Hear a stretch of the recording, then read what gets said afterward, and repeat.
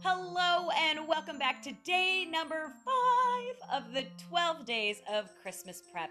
And today, our topic is meal planning.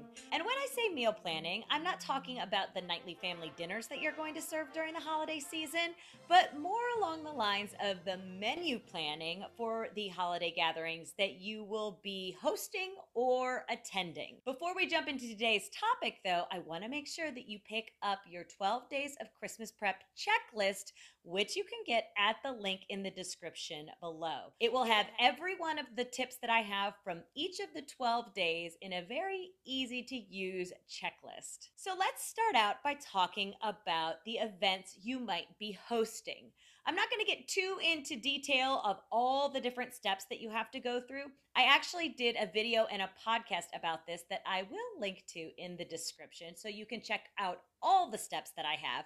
But what I'm recommending that you do is sit down and figure out what you will be serving. Whether you're hosting Thanksgiving or Hanukkah or Christmas or New Year's, sit down and think about all the different items that you would like to serve or the things that you would like other people to bring. Don't forget to ask your guests if they would like to contribute to the gathering or assign something based on how your family dynamics work. People love to feel like they are contributing to the gathering and there are no prizes for being super mom and doing it all. So don't stress yourself out. Please ask for help. If you're not hosting a gathering this year, be sure to check in with your host and find out what you can bring.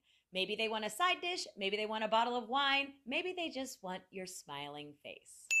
In either instance, whether you will be hosting or just bringing something along, be sure to make a list well in advance of all the ingredients that you will need to pick up at the grocery store to prepare your meal or your dish. Many of the holiday standards can tend to run out in grocery stores if you wait too long to pick up the ingredients. So make a list now of what you'll need to make your family favorite and pick those up the next time you're at the grocery store. I'd love to know what your favorite favorite thing to eat or bring to a family holiday gathering is. Be sure to tell me in the comments below and make sure that you tune in tomorrow for day number six of the 12 days of Christmas prep.